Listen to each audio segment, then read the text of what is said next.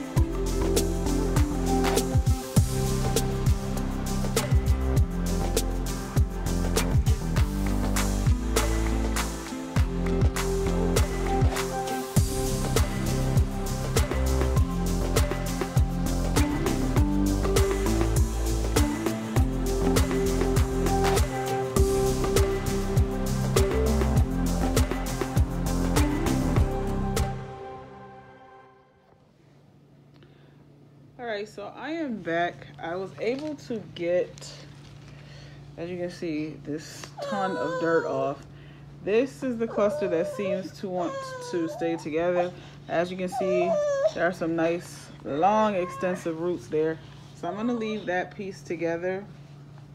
Um, over here, you can see I was able to get some pieces off.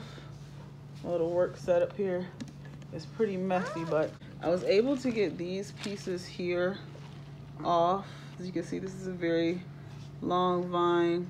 It has some nice roots on it. Um, I would say I got about one, two, maybe four, five smaller pieces off. I guess that's a good amount. I don't know. I'm kind of surprised because I, I just figured with such a big pot, it would be more plant in there. But I definitely can see why it was so heavy because that was a lot of dirt. So I'm glad I did decide to break it down.